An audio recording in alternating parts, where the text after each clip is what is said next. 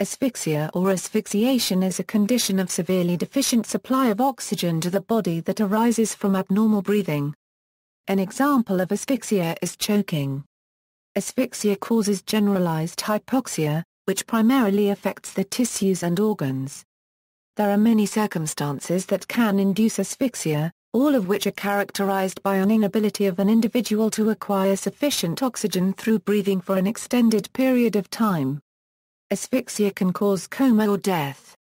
Circumstances, situations that can cause asphyxia include but are not limited to, the constriction or obstruction of airways, such as from asthma, laryngospasm, or simple blockage from the presence of foreign materials. From being in environments where oxygen is not readily accessible, such as underwater, in a low-oxygen atmosphere, or in a vacuum. Environments where sufficiently oxygenated air is present, but cannot be adequately breathed because of air contamination such as excessive smoke. Other causes of oxygen deficiency include but are not limited to, carbon monoxide inhalation, such as from a car exhaust. Carbon monoxide has a higher affinity than oxygen to the hemoglobin in the blood's red blood corpuscles, bonding with it tenaciously, and, in the process, displacing oxygen and preventing the blood from transporting oxygen around the body, contact with certain chemicals, including pulmonary agents and blood agents, self-induced hypercapnia by hyperventilation, as in shallow water or deep water blackout and the choking game, a seizure which stops breathing activity, sleep apnea, drug overdose, Undine's curse, central alveolar hypoventilation syndrome, or Primary alveolar hypoventilation, a disorder of the autonomic nervous system in which a patient must consciously breathe. Although it is often said that persons with this disease will die if they fall asleep, this is not usually the case, acute respiratory distress syndrome. Exposure to extreme low pressure or vacuum to the pattern, hanging, specifically suspension or short drop hanging. Respiratory diseases, drowning, inert gas asphyxiation, smothering. Smothering is the mechanical obstruction of the flow of air from the environment into the mouth and or nostrils, for instance, by covering the mouth and nose with a hand, pillow, or a plastic bag. Smothering can be either partial or complete, where partial indicates that the person being smothered is able to inhale some air, although less than required. In a normal situation, smothering requires at least partial obstruction of both the nasal cavities and the mouth to lead to asphyxia. Smothering with the hands or chest is used in some combat sports to distract the opponent, and create openings for transitions, as the opponent is forced to react to the smothering. In some cases, when performing certain routines, smothering is combined with simultaneous compressive asphyxia. One example is overlay, in which an adult accidentally rolls over an infant during co-sleeping, an accident that often goes unnoticed and is mistakenly thought to be sudden infant death syndrome. Other accidents involving a similar mechanism are cave-ins or when an individual is buried in sand or grain. In homicidal cases, the term burking is often ascribed to a killing method that involves simultaneous smothering and compression of the torso. The term burking comes from the method William Burke and William Hare used to kill their victims during the Westport murders. They killed the usually intoxicated victims by sitting on their chests and suffocating them by putting a hand over their nose and mouth, while using the other hand to push the victim's jaw up. The corpses had no visible injuries, and were supplied to medical schools for money. Compressive asphyxia Compressive asphyxia is mechanically limiting expansion of the lungs by compressing the torso, hence interfering with breathing. Compressive asphyxia occurs when the chest or abdomen is compressed posteriorly.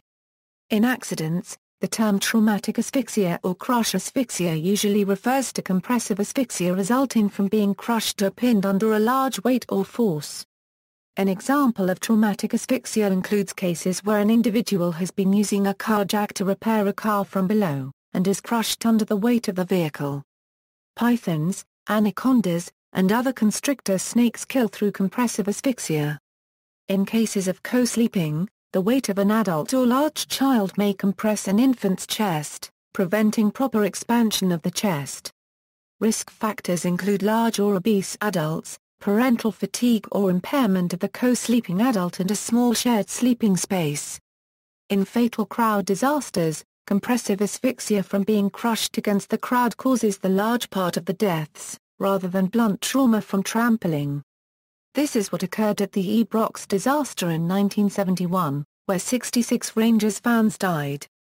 The 1979 The Who concert disaster where 11 died.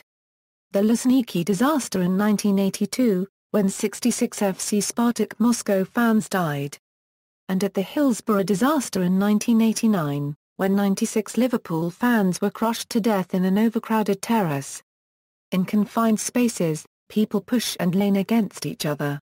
Evidence from bent steel railings in several fatal crowd accidents have shown horizontal forces over 4500 N.